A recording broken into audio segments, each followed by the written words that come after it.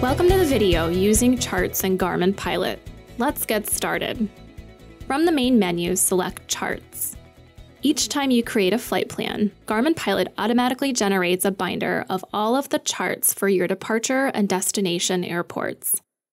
These charts are color coded by type and may be filtered by airport information, approach, arrival, or departure procedures.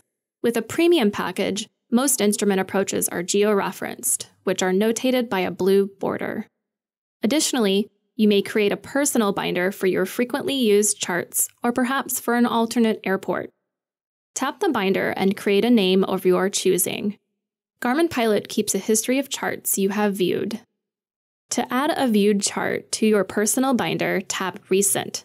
Select the chart from your list, choose the binder icon, and touch the name to add the chart. You may add charts from the Airport Info tab by viewing a chart and selecting the binder icon to add it to your personal binder. Visit the iTunes App Store or Google Play to download a 30 day free trial of Garmin Pilot.